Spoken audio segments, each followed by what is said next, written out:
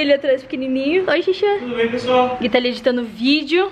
Começando aqui mais um vlog pra vocês, mais um videozinho. Eu não sei se eu chamo de vlog ou se eu chamo de New Style, New Jenna Makeup 2009 style videos, porque eu acho que vocês gostam mais quando eu gravo vídeo assim, com a câmera na mão, uma coisa mais informal, do que quando eu gravo com aquela câmera top, profissa. Eu acho que eu vou começar a gravar os vídeos assim, me contem o que vocês acham desse formato, dessa câmera. Eu particularmente amo essa câmera, acho a qualidade dela maravilhosa. Ontem eu gravei aquele vlog pra vocês que já tá no ar, se você ainda não assistiu, do nosso sábado maluquinho. Vou deixar aqui o card em alguns lados, aqui ou aqui pra você ver. Inclusive, é muito louco, porque o Gui tá editando esse vídeo agora. Você já tá no futuro, já tá vindo próximo. Hum, complicado essa coisa aí, de entender essa coisa de passado e futuro. Enfim, hoje é domingo e a gente tá esperando a nossa comida chegar. A gente pediu um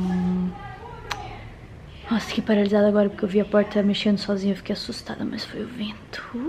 A gente pediu uma comidinha pra almoçar, porque já é duas da tarde, mas hoje é domingo, então tudo bem, porque domingo todo mundo almoça às cinco da tarde mesmo, é normal. Gente, eu tô com muita fome, sério. Ai, não sei exatamente o que vai acontecer hoje. A gente vai ficar em casa, eu acho, porque o Gui tá editando meu vídeo. Aí eu vou postar esse vídeo, aí ele vai gravar um pro canal dele, e eu tô gravando esse aqui. E eu quero gravar uma coisa hoje que eu tô vendo no YouTube. Eu assisti mais um vídeo daquele menino James Charles, que ele é, tipo, maravilhoso, sensacional. Ele fez aquele desafio da Brat, tá rolando na gringa. Todos os youtubers gringas estão gravando, mas o dele eu fiquei, tipo assim... Oh!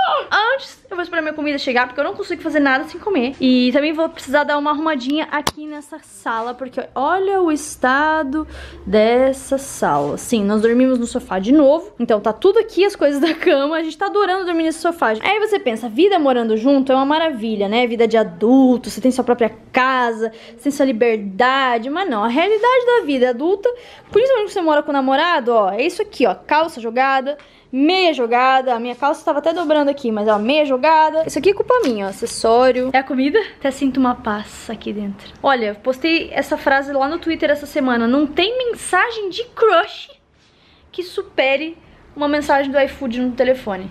Seu pedido acabou de sair para entrega. Com licença, amigos. Se eu não fizer vocês salivarem, não tem graça, né? Então vamos abrir aqui. Gente, olha isso, vem até laranja. Ó. E aqui tem... Ai, eu amo isso aqui. Farofinha com bacon e cebolinha, gente do céu. Não, não, tem nada mais que eu precise pedir a Deus. Eu acho que a minha vida já tá repleta de alegria assim. Agora o que eu vou fazer é me afogar aqui dentro. Comer todo esse torresmo ficar muito felizinha com a barriga cheia, porque é isso que significa viver, amigos. É isso! Isso! Esses aqui também, mas esse aqui principalmente. Oi, meu amorzinho. Você ficou escondidinho dentro do eu tava sentindo sua falta já, amorzinho. Ai, meu Deus, ai, meu Deus, ai, meu Deus, eu te amo tanto. Aproveitando pra mostrar pra vocês algumas caixinhas que chegaram aqui em casa. Tem só as caixinhas que chegaram essa semana, porque eu tô fazendo recebidos lá no Instagram. Eu junto uma semana toda, gravo lá no Instagram e já vou jogando as caixinhas fora pra não ficar acumulando muita coisa, ficar bagunça em casa. Então essas aqui são as últimas do mês de janeiro. E eu vou mostrar aqui pra vocês, então, porque essas eu ainda não mostrei lá no Instagram. Então vamos lá. 3, 2, 1. Olha só, tudo aberto já pra ficar mais fácil pra mostrar pra vocês. Eu estou muito feliz porque mês de janeiro foi mês de receber coisa de papelaria, gente. Sério, como chegou coisa de marca de papelaria aqui em casa, eu não preciso nem dizer que eu amo, né? Eu sou completamente apaixonada. Primeiro que eu vou mostrar aqui pra vocês é essa caixinha aqui, ó, da Forone. A Forone mandou duas caixinhas esse mês. Na primeira caixinha veio essa agendinha aqui, ó, de emoji Eat, Sleep, Party, Repeats 2019. As folhas dela são todas decoradinhas, tá vendo? Ai, eu amo essas coisinhas fofas, sério. Eu nunca vou enjoar. O que eu achei muito fofinha é que como é de emoji, você pode anotar aqui, ó, como foi seu dia hoje qual deles te representa mais. Eu achei muito fofinho. Tem o folheto mostrando as outras opções de capas. E aí, continuando em Forone, cadernão bem grande, desses de uma matéria, Pink Forever. E ele é todo romântico, ó. Também tem um monte de adesivo. E veio também esse estojinho aqui, ó, penal. Não sei como é que vocês falam, na minha cidade falava penal. Continuando papelaria, também chegou essa caixinha aqui da Magnolia Papelaria. E aí veio várias coisas fofas, gente. Eu gritei quando eu abri essa caixa. Veio essa agenda aqui. Olha que fofo. Ai, sério, eu pirei quando isso aqui que chegou. Essa agendinha aqui é pra organizar as viagens. E aí tem esse planner aqui. I have no idea what I'm doing. Não tem nada mais minha cara do que essa frase. E ele tem várias separações fofinhas. Veio também um bloco com post-its. Ah, e esse aqui também. Stay Inspired. Eu peguei esse aqui que tem essa coisa de inspiracional e eu tô escrevendo ideias de vídeos. Mais adesivo, já tem um monte dentro das agendinhas, mas veio mais aqui fora. Muito obrigada, eu amei tudo. Sephora também mandou uma lembrancinha aqui pra casa essa semana, que é esse iluminador corporal aqui da marca Feito Brasil. Eu ainda não usei, mas eu tô louca pra testar, porque eu achei essa cor aqui simplesmente maravilhosa. E a outra caixinha que chegou aqui em casa essa semana é da Redken, também minha marca queridíssima, da vida, que vamos viajar juntos. Já já tá chegando nossa viagem pra Nova York. Eles mandaram um produto muito legal que eu nunca tinha usado, que é uma máscara pro cabelo. E veio também uma versão mini desse produtinho aqui, ó, One United, é um produto tipo 25 em 1. Ele protege, dá brilho, é simplesmente maravilhoso e eu adoro essas versões menorzinhas pra levar em viagem. Esses foram os recebidinhos da semana. Sabe quando você se empolga tanto com uma coisa que você perde completamente a noção do tempo? Pois é, foi o que aconteceu comigo nesse exato momento. Lembra que eu falei pra vocês que eu ia tentar fazer aquela maquiagem inspirada na boneca Bratz? Eu gostei da maquiagem do James Charles, eu achei legal, mas eu achei que é aquela coisa assim muito diferentona, sabe? Aquela coisa que só funciona pra foto, pra vídeo. Quando você vê a maquiagem no vídeo, não é muito bonita, então eu fiquei meio assim, em dúvida. E eu encontrei a foto dessa pessoa aqui, ó.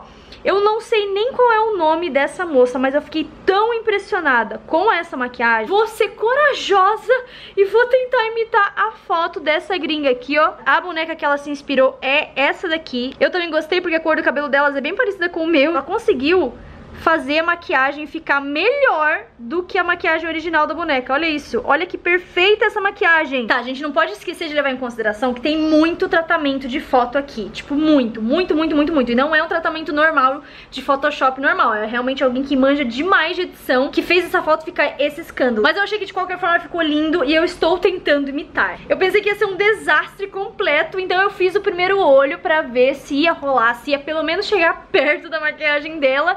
E eu fiquei satisfeita com esse primeiro olho aqui. Então eu vou fazer o outro olho aqui, vamos ver no que vai dar. Tirando essa maquiagem mesmo, é a boca. Tem gente que fez aquele efeito de olhão de boneca, tipo, super gigantesco, igual o James Charles, que fez aquele olho até aqui, né, gigantesco. Mas eu confesso que eu não curti muito. Eu acho mais legal esse efeito assim, tipo maquiagem normal, sabe? Maquiagem usável, maquiagem social. Então é isso, eu vou fazer outro olho aqui pra ver como é que fica e depois eu venho pra fazer a boca também com vocês, porque, né, a boca que vai ser aquele tchan. Vou ter que desenhar a boca até aqui, porque a minha boca não é grande, minha boca não tem preenchimento, não tem nada. Então, assim, né, essa boquinha aqui, pequenininha desse jeito, tadinha, pobre coitada. Dá uma resumida aqui pra vocês, ó.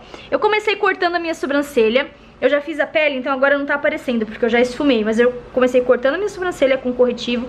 Preenchi ela com meu produtinho favorito, vocês sabem, da Anastasia Beverly Hills. Depois eu vim com uma sombra marronzinha. Vários tons de marrom. Eu comecei com marrom quente, depois um marrom mais frio, depois uma cor mais vinho. Depois eu vim com essa sombra aqui, ó, da L'Oreal. Que é uma sombra nesse tom, assim, um verde meio cintilante, um verde meio água. Depois eu fiz um super traço de delineador com o delineador da Bia Boca Rosa, que é super preto, então ele fica esse super olhão preto, ó. Vim com branquinho aqui embaixo e muito cílio postiço e muita máscara de cílio. Não sei se eu vou conseguir fazer uma maquiagem parecida ou pelo menos perto, inspiradinha, inspiradinha que seja, não precisa ser uma inspiradona, uma inspiradinha já tá bom, com a maquiagem da Brad. Os olhos ficaram assim. Uma dica muito legal é pro contorno e pro blush. Normalmente a gente faz assim de lado, né, trazendo de cá pra cá. E não, pra maquiagem de Bratz, ela fez assim, ó levando o contorno bem aqui pra raiz do cabelo, ó, dos dois lados. E ela fez a mesma coisa com o blush. Achei que ficou lindo, passei bastante contorno mesmo, bastante contorno na testa, no queixo. Outra coisa que eu fiz diferente do que a minha maquiagem normal é os cílios. Normalmente eu cortaria esses cílios aqui, mas eu achei que tinha que ser assim mesmo, desse tamanho que ele veio na caixinha, pra dar essa impressão de que o meu olho é ainda maior.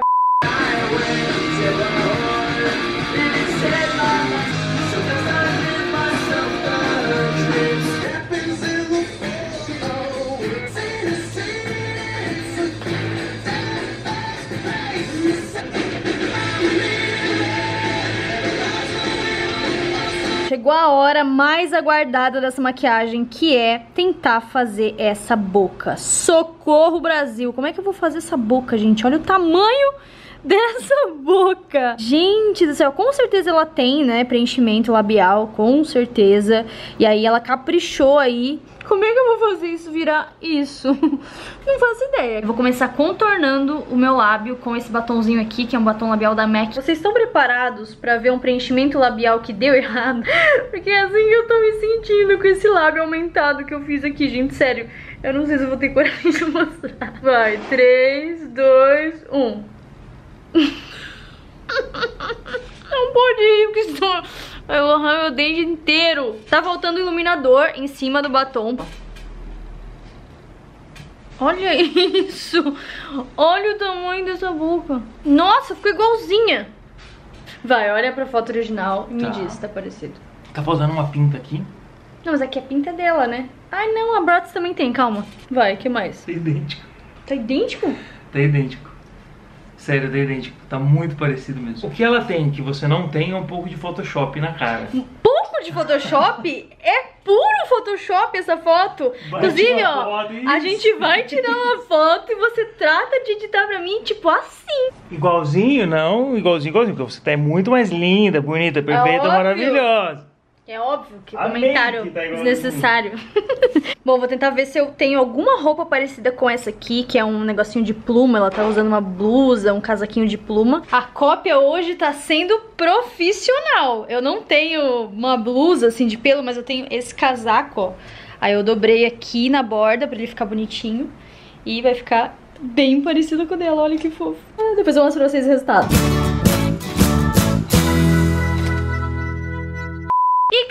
Eu de cara lavada novamente depois de umas 3 horas tentando tirar aquele tanto de maquiagem da minha cara. Foi um pouquinho difícil, mas eu consegui. E é isso, pessoal. Esse foi o vídeo de hoje. Eu espero muito que vocês tenham gostado. Não esquece, deixa o seu like, se inscreve aqui no meu canal se você ainda não for inscrito. Confere os outros vídeos que tem um monte de conteúdo bem legal que eu tô produzindo pra vocês. E comenta o que, que você achou do resultado final da minha maquiagem. Se ficou pelo menos parecidinho, pelo menos um pouquinho, com a inspiração e o que, que você achou, tá bom? Hum, Um super beijo e até o próximo vídeo. Tchau!